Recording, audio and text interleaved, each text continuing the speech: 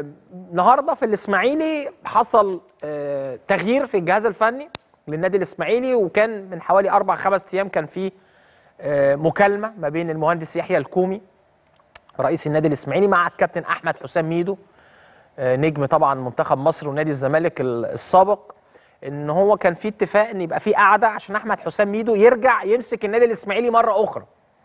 والنهارده الساعة 5 كان في جلسة ما بين مهندس يحيى كومي وما بين كابتن ميدو والاثنين اتفقوا إن عودة كابتن أحمد حسام ميدو مرة أخرى لتدريب النادي الإسماعيلي. الإسماعيلي كان خسر امبارح من المصري 1-0 فالنهاردة آه، إدارة نادي الإسماعيلي قررت تعيين الكابتن أحمد حسام ميدو كمدير فني للنادي الإسماعيلي. طبعا نتمنى له كل التوفيق خلال الفترة القادمة.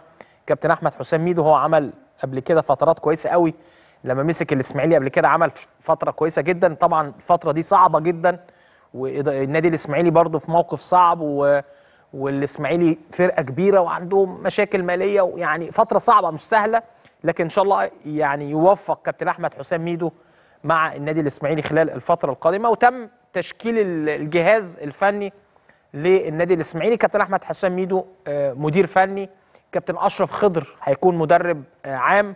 كابتن أحمد الجمل وكابتن عمر جمال آه، مدربين في الجهاز الفني والكابتن أيمن الجمل هيمسك مدير كورة زي ما كان كابتن أيمن الجمل الفترات اللي فاتت كان مدير كورة مع جاريدو وبعدين مسك كابتن أيمن جمل كمدير فني فهيرجع مرة أخرى لمنصب مدير الكورة الكابتن أيمن آه، الجمل ومدرب حراس مرمى آه، نادي الإسماعيلي هيكون كابتن محمد عبد المنصف. ودي برضو خطوة مميزة جدا نتمنى إن شاء الله النجاح لكابتن محمد عبد المنصف كمدرب لحراس المرمى في الفترة القادمة مع النادي الإسماعيلي. أنا شايف إن هو جهاز قوي جدا وأتمنى إن الجهاز ده يقعد فترة بقى. يعني مش عايزين تغييرات تاني في النادي الإسماعيلي ايا كانت النتائج. عايزين الجهاز ده يقعد فترة مع النادي الإسماعيلي عشان يبقى فيه استقرار يبقى فيه شغل بقى مظبوط. وأنا شايف إن هم كلهم عناصر مميزة جدا بداية من أحمد حسام ميدو آه، كمدرب أيمن الجمل كمدير للكورة آه، أشرف خضر طبعا مع مع الحفظ الألقاب. مدرب طبعا ابن النادي الإسماعيلي مدرب مميز جدا أحمد الجمل عمر جمال شباب ومدربين مميزين جدا واولاد النادي الإسماعيلي محمد عبد المنصف كحارس مرمى كبير وليه تاريخ وإن شاء الله يوفق في خطوة إن هو يكون مدرب حراس مرمى وأنا عندي ثقة إن عبد المنصف إن شاء الله هيكون مدرب حراس مرمى كبير انه عقليته وتفكيره آه، مميز جدا مع خبراته الكبيرة اللي اكتسبها من خلال آه، آه، لعبه طبعا لسن كبير. محمد عبد المنصف لعب أعتقد ل 44 سنة لسه مبطل عبد المنصف أو 45 سنة كمان لسه مبطل السنة اللي فاتت. فإن شاء الله يعني يقدر الجهاز ده ياخد النادي الإسماعيلي لفوق ويقدر يساعده على إن هو يعمل ماتشات كويسة ويعمل نتائج كويسة الفترة القادمة. النادي الإسماعيلي يستحق زي ما بنقول دايما بقالنا سنين بنقول النادي الإسماعيلي يستحق أحسن من كده بكتير. وأتمنى من جمهور النادي الإسماعيلي إن هو يساند الجهاز ده. أعتقد إن آه، آه، ميدو كابتن أحمد حسام ميدو الجمهور الإسماعيلي بيحبه. وليه تاريخ كويس في النادي الإسماعيلي لما مسك قبل كده النادي الإسماعيلي. نتمنى إن شاء الله إن هو الجمهور يساند الفريق. مجلس الإدارة مش عايزين مشاكل بقى حوالين الفرقة عايزين الناس تعمل آه، يعني أجواء آه، آه، آه، إيجابية وأجواء هادية حوالين الفريق عشان يقدر الراجل يشتغل مع جهازه الفني و...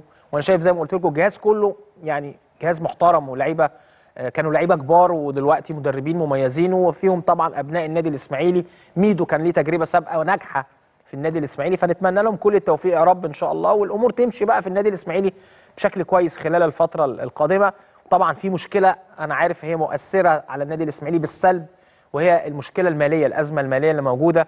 ان الإسماعيلي عليه ديون كتير وفي مستحقات لاعبين فلازم برضو الإدارة تقدر توفر الحاجات دي عشان آه، آه، أحمد حسام ميدو يقدر يشتغل بشكل كويس ويبقى بشكل هادي ويبقى مركز في الملعب بس مش مركز بقى إن مثلا لعيب يجي يقول له أنا معيش فلوس أنا ما خدتش مستحقاتي طب أنا مش هتمرن أنا ما بتحصل في الأندية بت- شوية الظروف المادية مش كويسة بتحصل. فعشان الراجل يركز في الملعب مع جهازه الفني ويحاول يطلع النادي الإسماعيلي لازم يبقى مفيش مشاكل مالية حوالين الفريق. لازم اللعيبة تبقى واخدة مستحقاتها عشان اللعيب يبقى مركز بس في الملعب. وكمان المجهود الفني الجهاز الفني ما يبذلش مجهود حاجات خارج الكورة. حاجات خارج الكورة. ما لما اللعيب يجي يقول لي أنا معيش فلوس وأنا ما خدتش مستحقاتي وأنا مش عارف بقى لي قد إيه وكذا بيبقى في تشتيت وفي اللعيبة بتبقى متضايقة واللعيبة مش مركزة في الكورة والجهاز الفني بيبقى عنده مشاكل في التعامل إن هو بيبقى عايز يحل المشاكل المالية وعايز يحل مشاكل الكورة الفنية. فإن شاء الله الأمور تتظبط خلال الفترة القادمة ونتمنى دايما للنادي الإسماعيلي وكل أنديتنا التوفيق خلال الفترة القادمة. الإسماعيلي بيبحث استكمال تشكيل اللجنة الفنية قبل انتقالات يناير. أنتوا عارفين إحنا داخلين خلاص خمس ست أيام ونخش في انتقالات يناير. فالإسماعيلي عايز يكمل تشكيل اللجنة الفنية اللي هتساعد بقى الجهاز الفني ومجلس الإدارة إن هم يبدأوا يختاروا صفقات عشان التدعيمات يناير شهر يناير ال- القادم إن شاء الله.